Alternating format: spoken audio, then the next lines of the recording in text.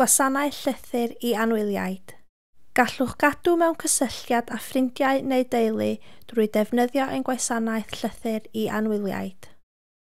Rydym yn deall ein bod yn anodd os oes gennych unigolion sy'n anwyl i chi yn yr ysbyty ac nad ydych yn gallu ymweld â nhw.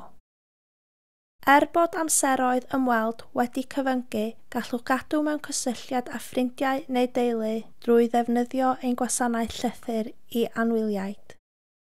Teipiwch eich e-bost a dilynwch a cyfarwyddiadau isod.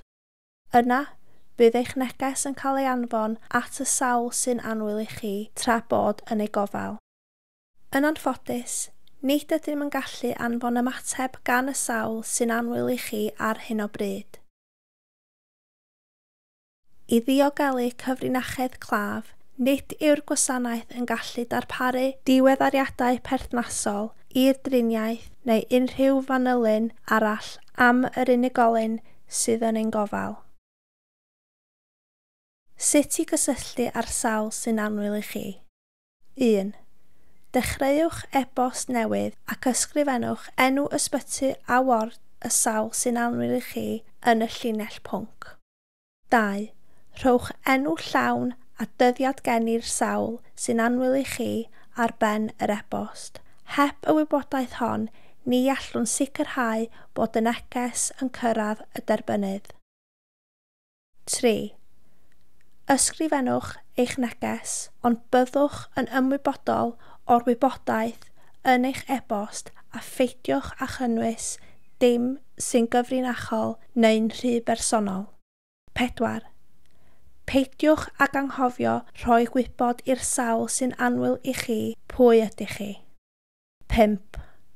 Gwiriwch eich bod yn defnyddio'r e-bost canlynol a pwysych anfon send i bcu.lettertolovedones at wales.nhs.uk.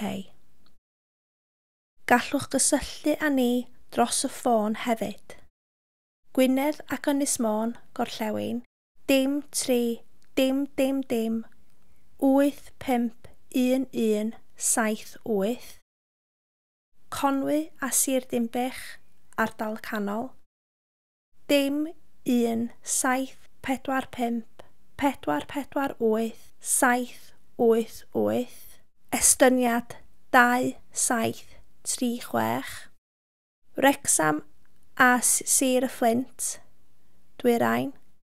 Dim 1 9 7 8 7 2 7 dim dau dim.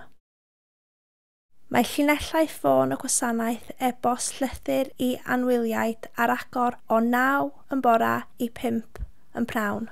Dydd llun i dydd gwenar, dim yn cynnwys gwyliau banc.